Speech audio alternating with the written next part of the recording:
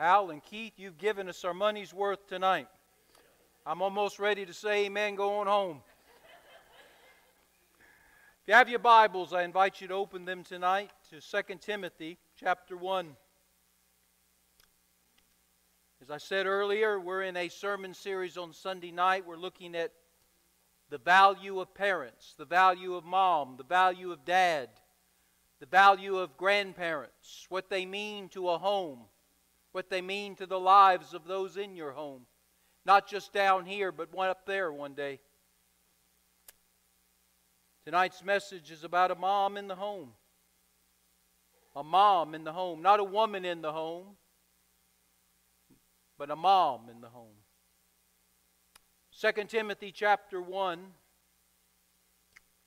the words of the greatest Christian man who ever lived, Paul the Apostle, writing a young pastor by the name of Timothy, pastoring First Baptist Church of Ephesus. And notice what he says to Timothy about his heritage, about his lineage, about where he came from to get to where he's at. 2 Timothy chapter 1 beginning with verse 3 I thank God whom I serve with a pure conscience as my forefathers did. As without ceasing I remember you in my prayers night and day, greatly desiring to see you, being mindful of your tears, that I may be filled with joy. Now, this is Paul talking to Timothy. When I call to remembrance the genuine faith that is in you. I wonder why he just didn't say faith. He's emphasizing that this faith is a real faith. It's a true faith. It's a biblical faith. It's a genuine faith. Paul says, when I call to remembrance the general, the genuine faith that is in you, which dwelt first in your grandmother Lois, that's where it began, and then was passed on to your mother Eunice, and now has been passed on to you. Verse 5 I am persuaded that what your grandmother had, which was a genuine faith, what your mother had, which was a genuine faith, Timmy, Timothy, it's in you. Let me ask you a question. Does a mother play a role in shaping the earthly life and eternal life of her children?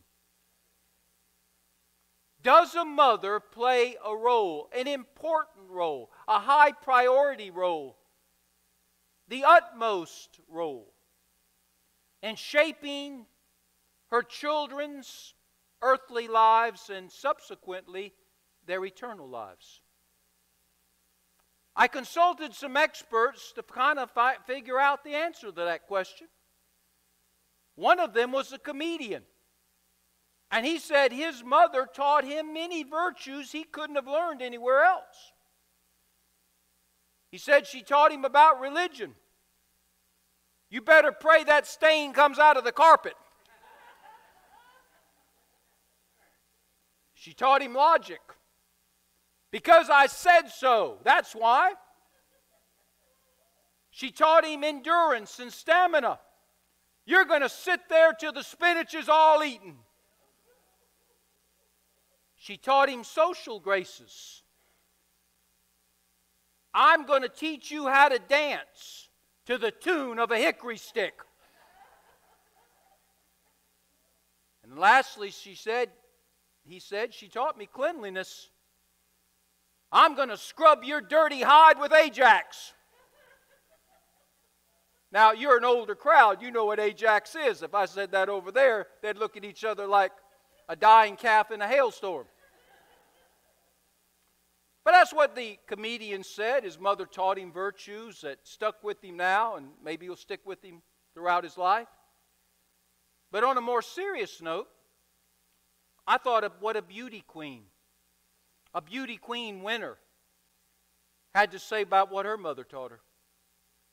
She said, among other things, she, told, she taught me to always send thank you notes to someone who's been kind to me. That's good, pretty good, isn't it? Tell people thank you who have been kind to you. to brush your hair and your teeth every day, to dress well. Appearance does matter. Never believe you can change anyone, including a man, not even with love. Stand straight, her mother taught her, and be soft spoken. Learn how to sit with modesty. Correct people with the spoken word, but compliment people with the written word. Respect yourself and love others. Forgive all and show no malice to none. So, whether you're a comedian and we laugh about it, whether you're a serious person and we think about it, I believe a mother is very important in the home. She might be the most important person in the home. Because in many ways, she will determine the destiny of her children in this life, and I deeply believe in the life to come.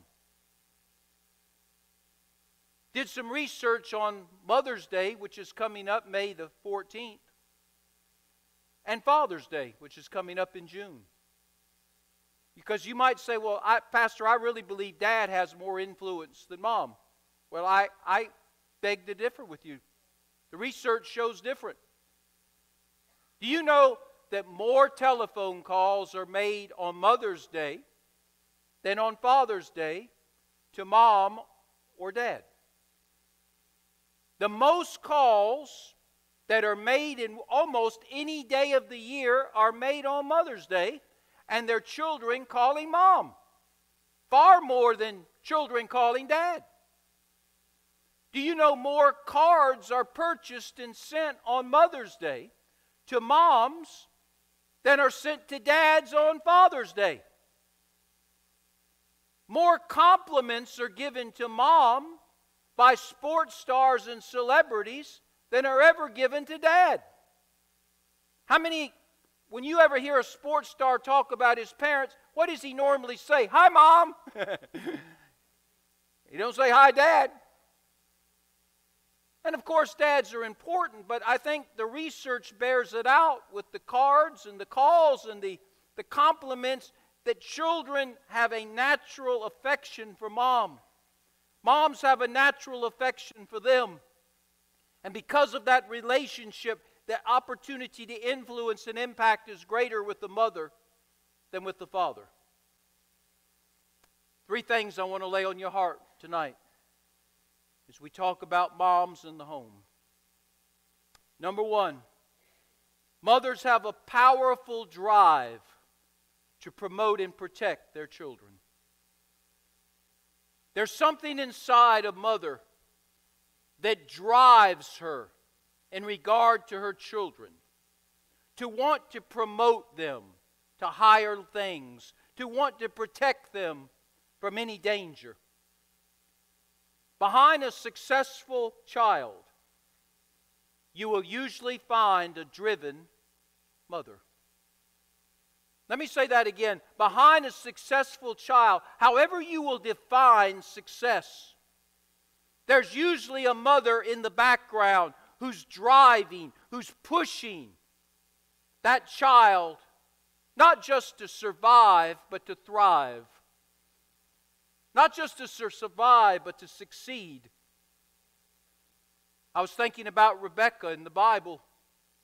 She wanted to promote and to protect Jacob. That was her boy. She loved Esau, but Jacob was her son in a much more deeper, special way. And so Rebekah stepped in and helped Jacob connive the birthright blessing from Esau to himself. Rebekah was behind that. She may have been a schemer, and you may not like what she did, but she did it out of love for her son Jacob. She drove Jacob. She was the, the energy, she was the force that made Jacob who he was, at least in the beginning. And then think about Moses' mother. When she heard that Pharaoh was coming for her baby, she took the initiative to put her son in a basket and sail him down the Nile River with the belief that her God was big enough to take care of her son. And God was sure big enough, wasn't he?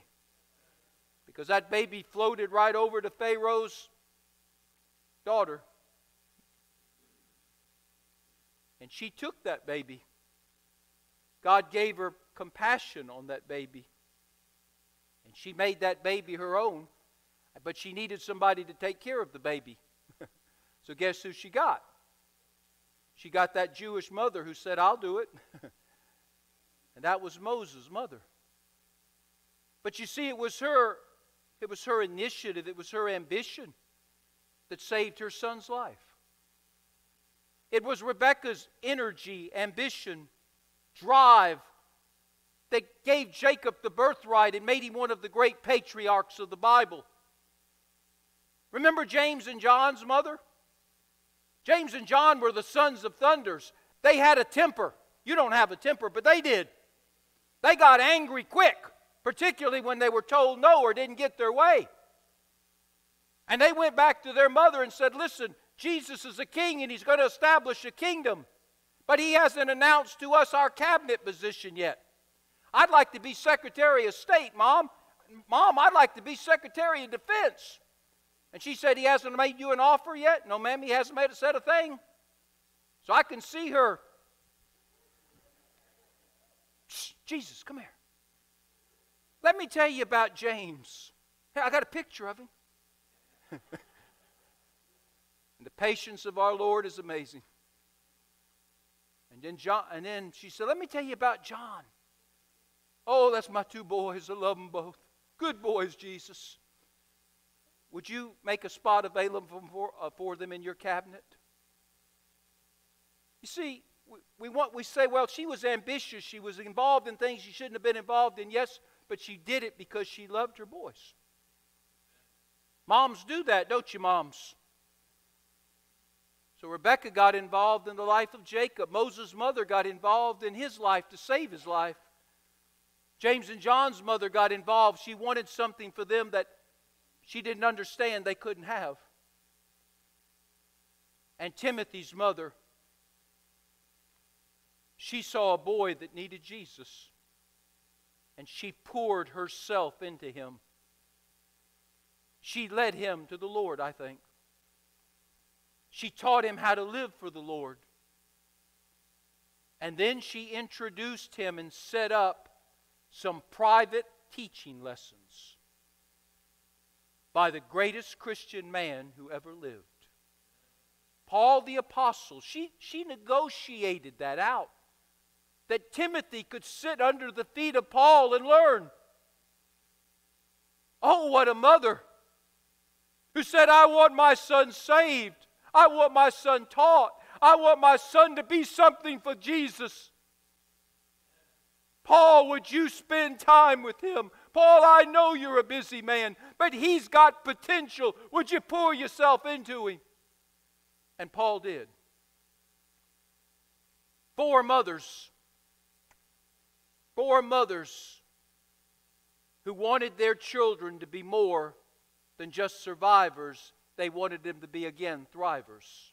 More than just survivors, they wanted them to succeed to make a difference in this world and in the world to come, to make a difference for themselves in this world and their world to come. Abraham Lincoln, all of us would agree, was probably one of the greatest presidents this country has ever had. I think all of us would put him in the, one of the top three positions. Do you know that Abraham Lincoln's mother was a godly woman? And she invested much of her life, though she died young, into Abraham.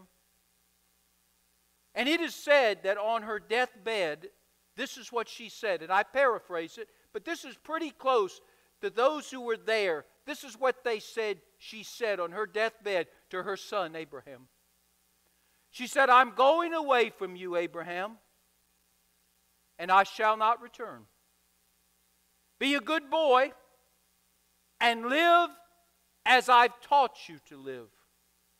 Love your heavenly Father, keep his commandments. That's what she said to her son. That was the last words that came out of her mouth to her son Abraham. And you know something? He did what his mother asked him to do. Abraham Lincoln, I don't know if he had a godly wife. I don't know if he had a godly cabinet. I don't know if he had godly generals around him, but I know this he was a godly man. And he was a godly man because there was a mother while she was alive who taught him what God wanted of him and told him that when she's no longer here, he's to carry that on, not for her sake, but for his sake. Moms make a difference. They're the energy, they're the enlightenment, they're the empowerment behind their children's direction and success. But I also want you to see something else if we can. Mothers have a great influence on their children's walk with God. Notice in verse 5, Paul writing under the inspiration of the Holy Spirit. I want you to understand that because this isn't Paul's opinion. He isn't theorizing here. This is gospel truth. And God is saying, Amen, Amen, Amen, every time Paul puts something in writing. Paul says, When I call to remembrance, verse 5, the genuine faith that is in you, Timothy, which dwelt first in your grandmother Lois. That's where it began. She had a faith, and she passed that faith on to her daughter Eunice, who is your mother. And I'm persuaded that what Lois had, a genuine faith, your mother Eunice had, a genuine faith, I'm persuaded that you have it too. In other words, grandma's influence is seen in you, Timothy. Your mother's influence is seen in you. It's interesting in chapter 4, verse 11, the Apostle Paul is preparing to die. The great Christian man, the great theologian, the great preacher, the great pastor trainer, a man who has walked with God, shook the world upside down for Jesus, is ready to leave this world. The Spirit of God has spoke to him. He's going to die. He's not going to come out of prison this time alive. He's going to have his head taken off his shoulders.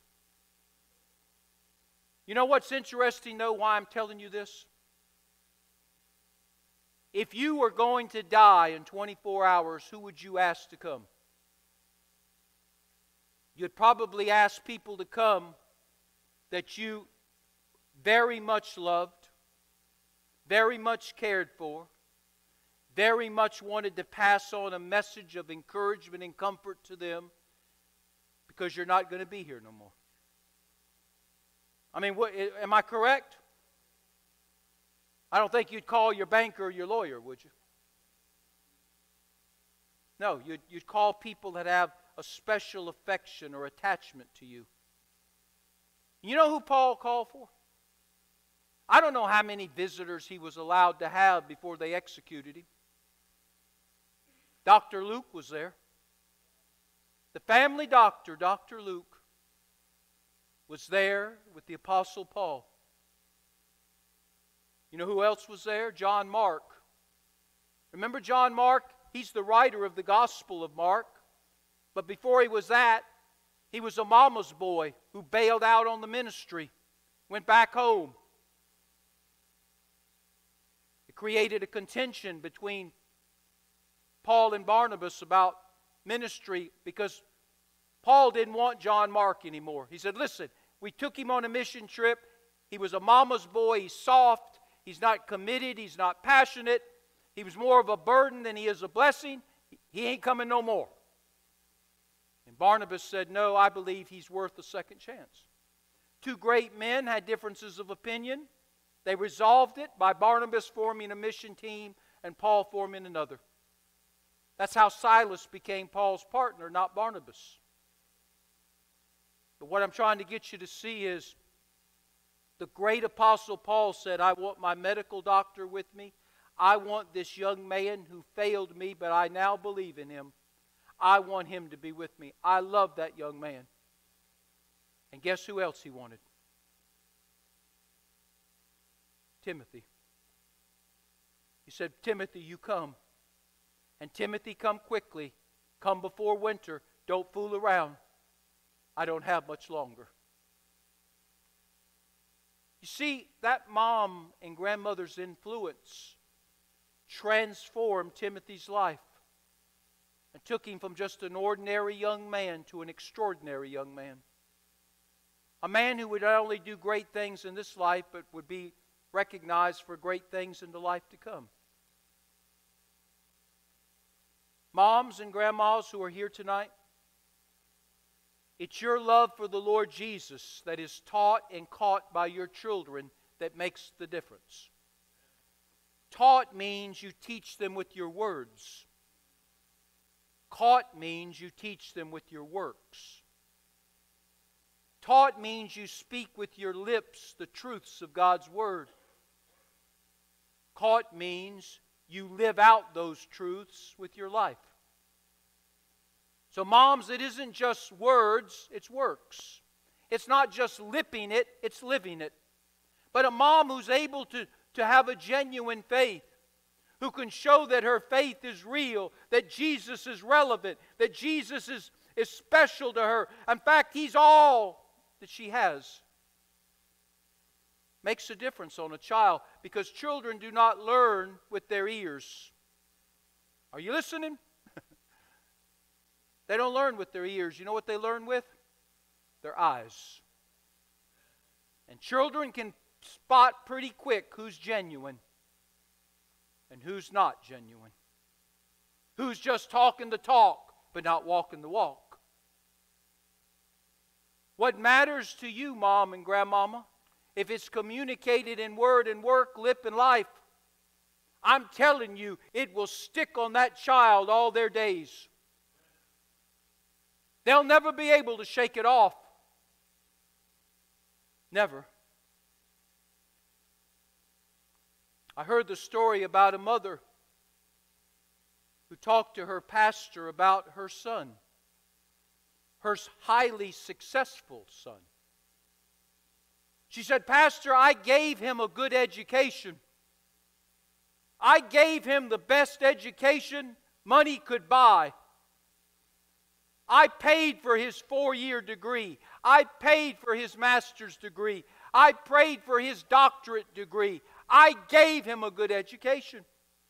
I helped him become an outstanding athlete. If you go to his home, you're going to see certificates, you're going to see trophies, you're going to see acclamations of all the exploits he did on the football field, in high school, and in college. I made him the athlete he was. I gave him the education he had. He married a good wife, and I was part of that. I was part of, of making sure he married a charming, talented, pretty wife, somebody that would enhance his life, be faithful to him. And he did. I can't be more happy with my daughter in law. I helped him get a good career. Do you know, Pastor, he owns his own business. He's not even 30 years old and he owns his own company. He's a good citizen. He's involved in education. He's involved in civic community works. Pastor, I did all of that for my son. I gave him the best this world could offer.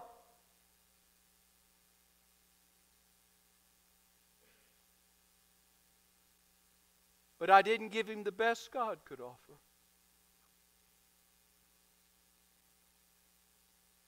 My son now has a home full of stuff, a life full of stuff, but his heart is empty of God. You see, mothers, grandmothers, if you have a genuine faith, and you put God first in your life and in your home and in your family, it will have an impression on a child that will lead them toward the heavenly things. If you give them everything else but that, you've done well, I suppose. But I ask you a question What would it profit if you gave your children everything this world has to offer, but they lose their own soul?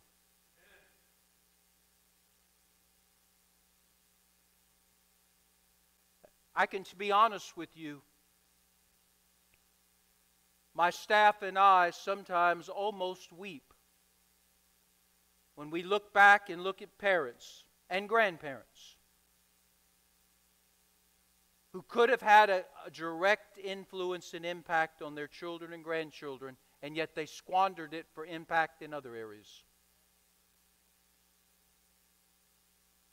Pastor, we can't come to church on Sunday because it's the only day off we have during the week, and we've got a boat and we've got a vacation home or a getaway place, and that's what we're going to do. We, will watch t- we'll watch the TV preacher. And we'll come back to church when we can, but right now that's really what we're doing on the weekend. Pastor, I believe our, our son has potential. And therefore, we're going to invest all of our time and money and labor into travel ball. It's not enough that he plays baseball during the season. We want him to play it 12 months a year because we believe he's going to the major leagues. But we can't come to church because we don't know where we're going to be every weekend. But I assure you, when we get through, we'll be back. Pastor, we've got tickets to the Panther games. Wish we could be in church, but you know, those tickets are expensive and you go to a football game, you got to get up early, you got to tailgate. Pastor, we got to visit relatives. Our relatives are come to visit us. Can't come to church when that happens, whether we're going or coming. We've seen parents say just about that. They don't say it in quite that many way, but that's what the impression is. And you know something? Probably four out of five, Keith, we've seen that happen to. You know where the children are at now? Far, far, far away from God. Mom and dad are trying to come back, maybe. But they're not bringing their children with them because the children said, You didn't care about it then. Why you care about it now?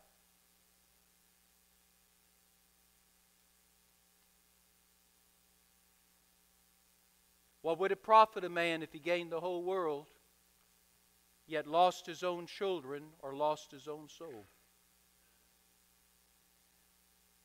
One more thing, we're through. Moms promote, they protect their children.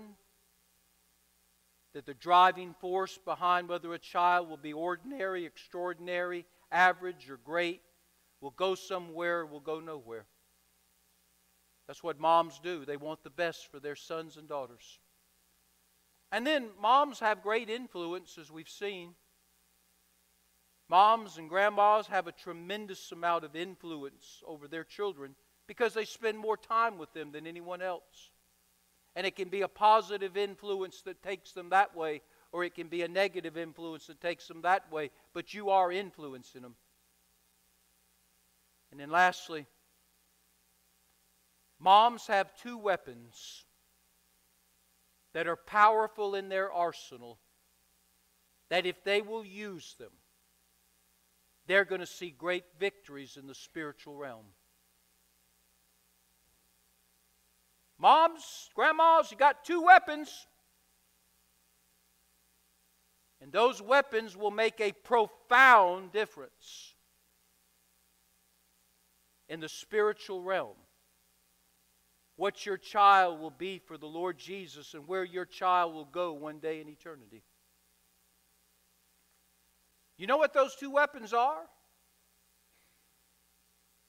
I had to go and get my help of some of my friends. I first went to a friend who's in heaven. But I loved him. We were very close when he was alive.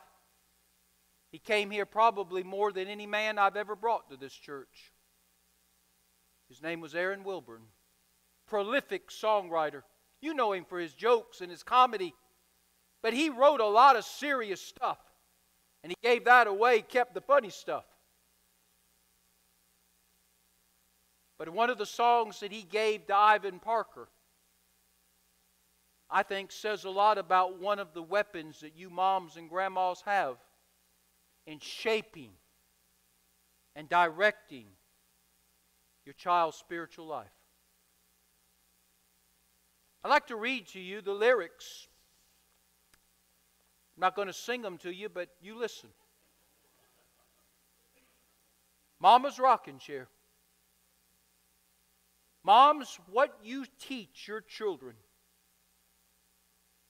they will never forget.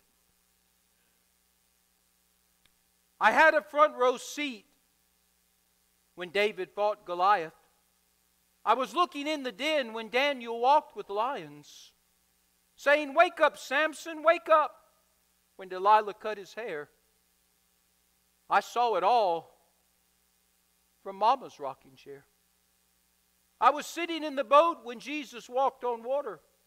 You should have, should have been there when he raised the rich man's daughter, when he opened blinded eyes and everybody stopped and stared. I saw it all from Mama's rocking chair.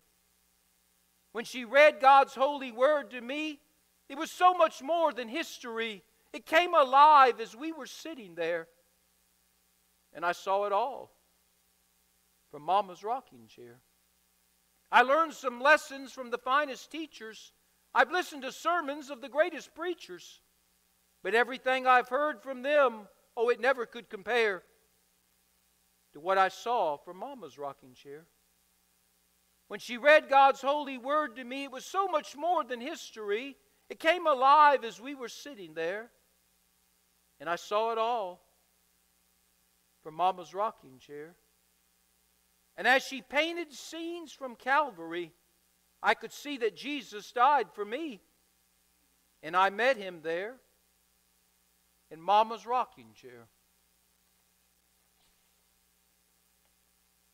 When your children come over, Mom, Grandma, and they pull those books up and want you to read to them, why don't you tell them some Bible stories? Bring those pictures of the Bible alive in their little eyes and mind and heart. They'll never forget them. They'll learn about Him in the Bible as you spend time with them. In the Bible, in the storybooks. So, Bible stories, Bible teaching, teaching them truth. You will do it better than anybody else, or you'll do it worse than anybody else, but you will do it. And then the second weapon you have, moms and grandmas, is called prayer. I've once again went to the songbook. A quartet, long time ago. In their day, they were one of the finest quartets that has ever been and ever perhaps will be. They rivaled Gold City for the number one spot in the cathedrals. They all three went back and forth. The group was the Kingsmen Quartet.